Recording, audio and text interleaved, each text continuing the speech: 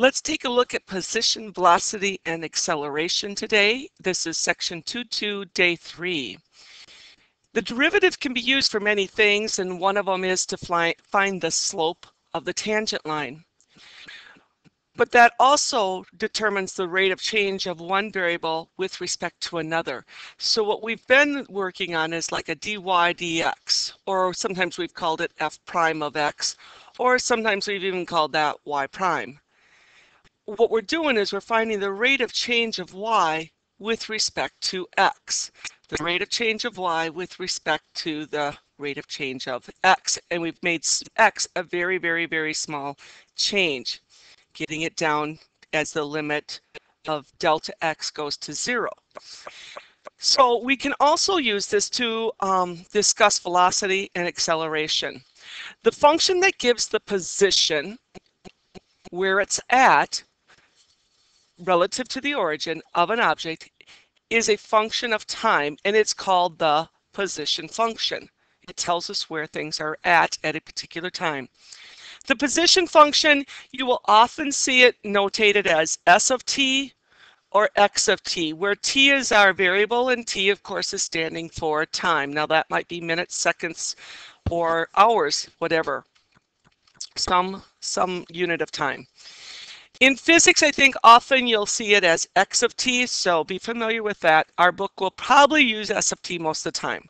And this gives the position or the relative position to the origin of an object as a function of time.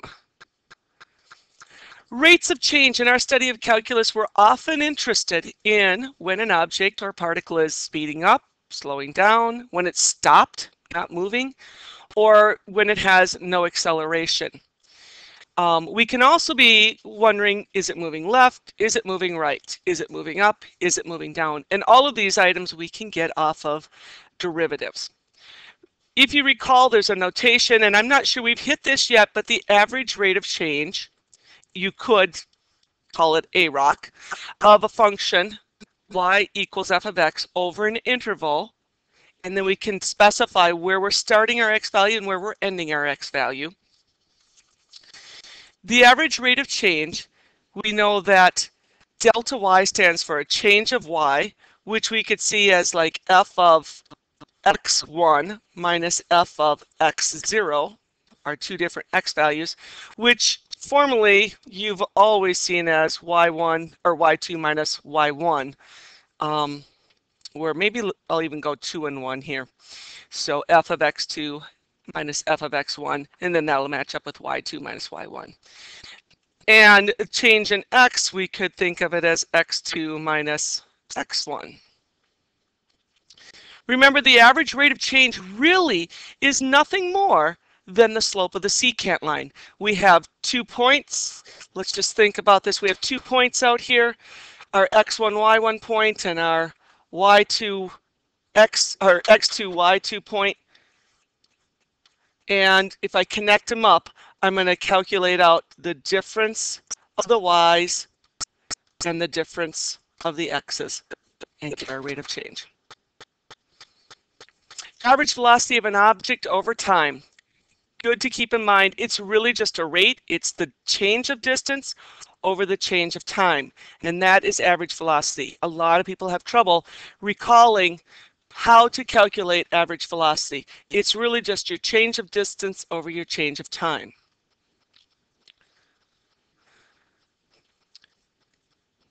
The average velocity between T1 and T2 is the slope of the secant line. And the instantaneous take note of these two because they are different average velocity and instantaneous velocity.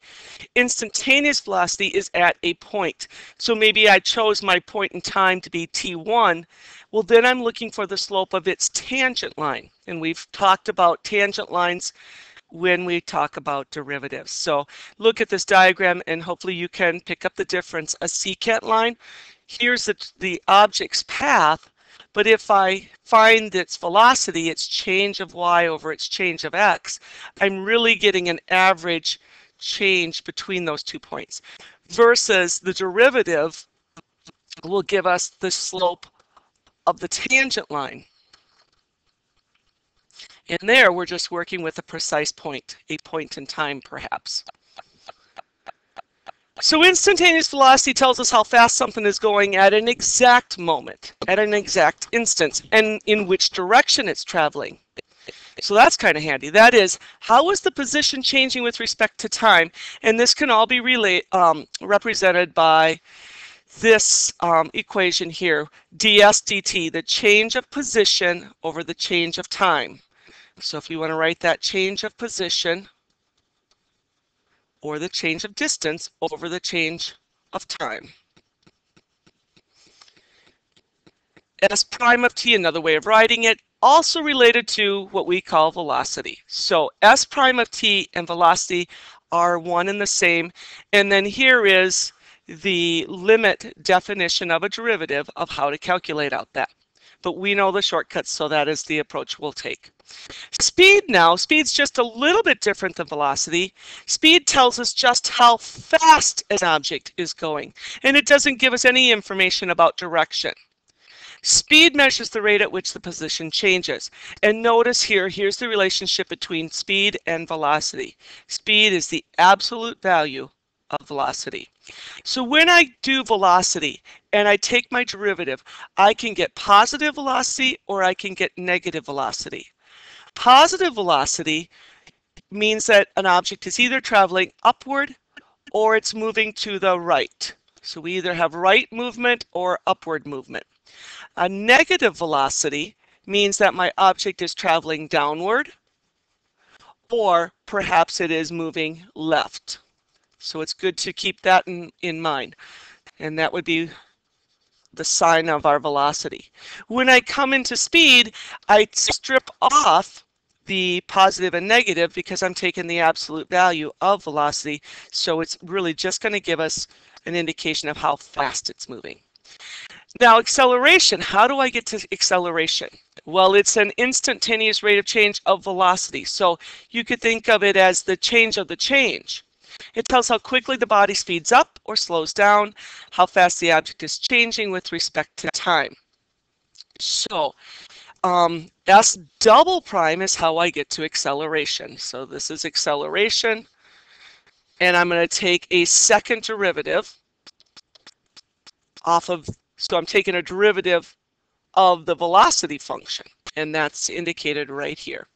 This is the notation um, that Leibniz used d squared s over dt squared. So take note of how that is written. We can explain that in class a little bit. Um, this is dv dt, the change of velocity over the change of time, and this all represents acceleration, which we can notate as a of t. So learning these um, relationships is very key. Techniques for speeding up and slowing down. If I want to talk about an object speeding up or slowing down, I need to look at two components. I need to look at velocity in conjunction with the acceleration of the object.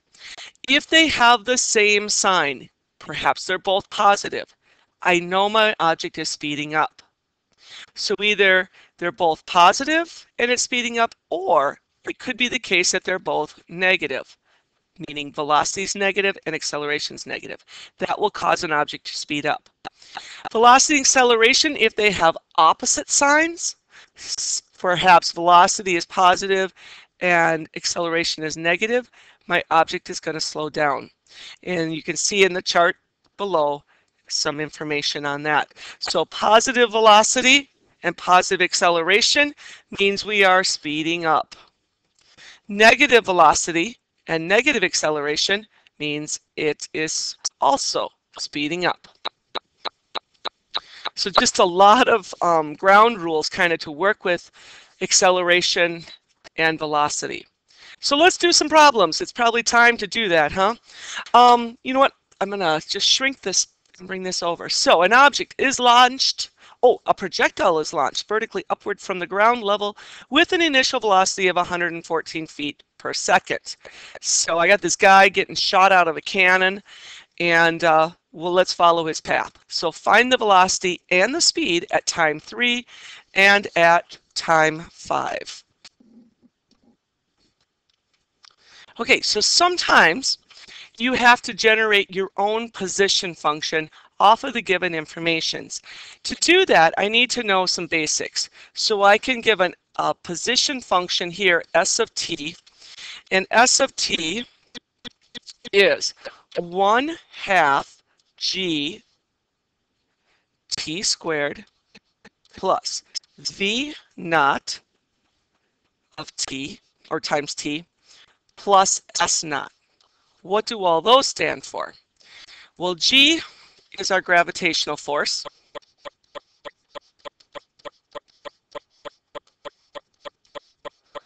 And that can be written two words, or two ways.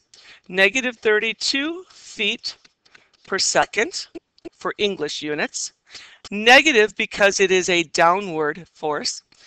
And another alternate way is 9.8 meters per second. And this is the effects of gravity that we feel. T, of course, stands for time. V naught is our initial velocity. And S naught is our initial position.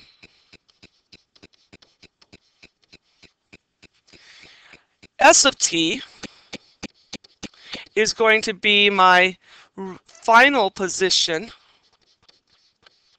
at time t.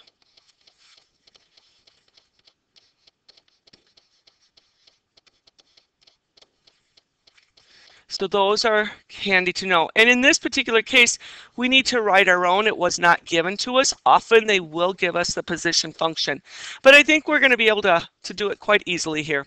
So I'm going to erase my stuff here and uh, construct the position function. So S of t is equal to 1 half. Now, do I use negative 32 or negative 9.8? I look back up here and see the units, and I see feet and I see seconds, which means that we're working in um, English units, so 32 feet per second. Um, time, you know what, I'm going to put my labels in here. I was debating about it, but let's do it. Feet per second. It'll make the science people happy, right? And then time squared, don't know what my time is yet, plus my initial velocity. Here they just told us the initial velocity, so I know V naught up here is 114. So I'm going to get initial velocity of 114 feet per second multiplied by time plus our initial position. And how do I get initial position? Well, it says the projectile was launched vertically upward from ground level, and that is a key right there that our initial position was zero. So I'd have plus zero out here. And let's just simplify this a little bit. I'd have half of 32, that gives me negative 16 t squared plus 114 t and then plus zero. Now, it's asking us um, find the velocity and the speed at time 3 and time 5. I want to get to velocity. So to get to velocity, I take a derivative. I want to know the change of position with respect to time. Velocity, take a derivative. And we know our shortcut rules, so this will be fairly quick work. S prime of t, which really represents v of t, velocity, is equal to, the 2 comes down, multiplies by the negative 16, gives us negative 32t plus. This has a power of 1 on that variable t, so 1 times 14, or 114 gives me 114. This is our velocity function. Now, all I need to do to find the velocity at time t, velocity at time equals 3, is plug in 3. So I'm going to evaluate my derivative at 3, which will give me the velocity at 3. And throw in our 3. It looks like what negative 96 plus 114 will equal 18. And it turns out to be feet per second. Change of position over change of time. Do likewise, s prime of 5 will give us our velocity at 5, and that means we'll calculate at 5, add on the 114, and I think you'll find out that this has negative 46 feet per second. It also asks what is the speed at those time frames. Well, the speed will be the absolute value, speed, recall, is equal to the absolute value of velocity. Okay, that's pretty easy then, isn't it? So if we want the speed of the object, speed at time 3, I'm going to take v of 3 and absolute value it. So let's look at the absolute value of 18. Uh, it stays 18, 18 feet per second.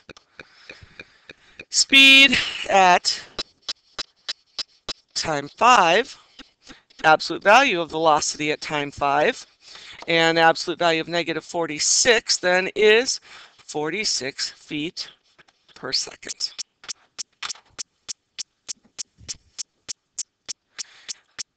I believe there's a part B. I know I've probably taken up all your space just on part A. The next question says, how high will the projectile rise? So I did this, here's our, our body getting shot out of the cannon. It's going to reach maximum height here at the vertex of the parabola, right? And I know what's happening at that top peak. Think about it, this particular time frame, there's some time here, that the tangent line has what slope? Here's my tangent line. Well, its slope would be zero, correct?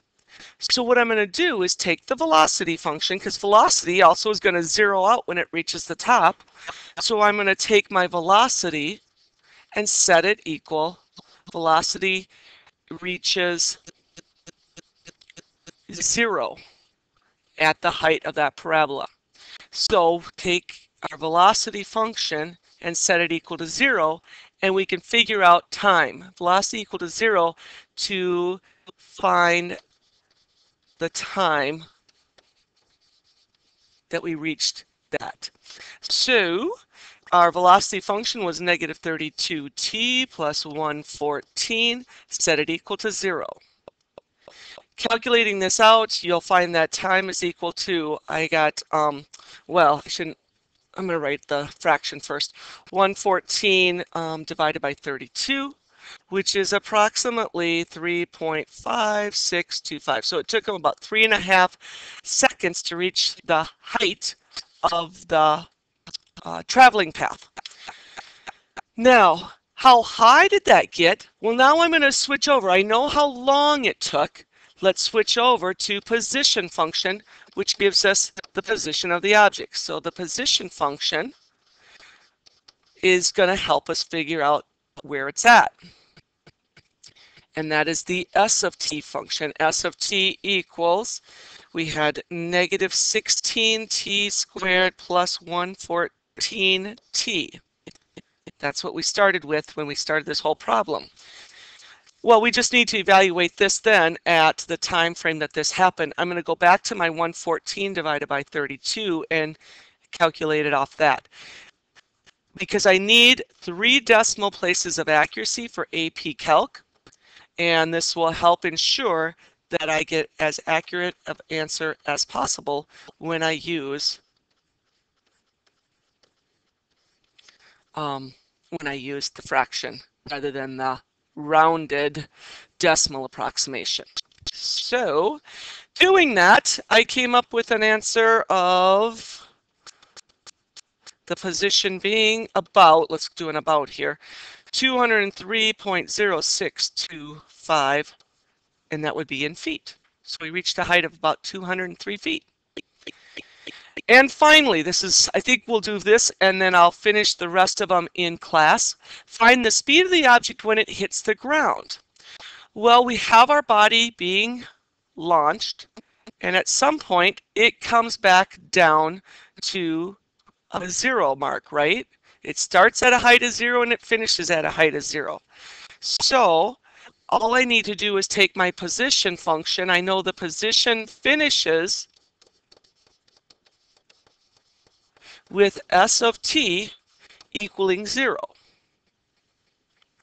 Take your um, position function, set it equal to 0. Our position function was negative 16t squared plus 114t equals 0. I'm going to pull out a negative 2t, the common, um, what is that called? The, G, the GCF. Let's take out the GCF. And I get two answers, right? I'm picking up that time could have been 0 because this is like a factor. And if it zeroes out, the answer will be 0. And then I pick up my other answer here by setting this equal to 0. And that appears like it's going to be 57 eighths. So at 57 eighths second, um, the object hits the ground. But that doesn't give us the speed, does it? That just gives us the time at which it hits the ground. And in order to get the speed of the object, speed, isn't this fun, guys? Speed is equal to the absolute value of velocity. So I need to get the velocity of the function at, at times t. So speed at time equals to 57 eighths is what I'm really after.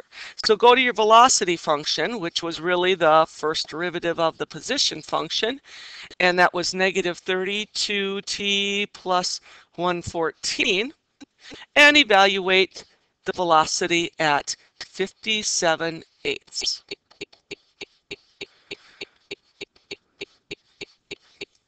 You know, the main thing on these, you really just have to really read the question of what they're asking, and you're going to use one of three functions. You're either going to use position function, S of t, velocity function, or the acceleration function, all of which are those two are just derivatives off of the position function. Um, and then you can get your answer on here, which I believe is um, negative 114 and that shows us the downward movement, doesn't it? That it was the object was traveling downward, which is making sense to me. Um, so this is our velocity at 57 eighths. But I want speed, so since I want speed, I'm going to absolute value this. Let's put tack a speed in front of here. Speed is equal to a positive 114 feet per second. I knew this would be a long one. Um, we will work on the other two examples in class and then do some homework. So see you in class on Monday.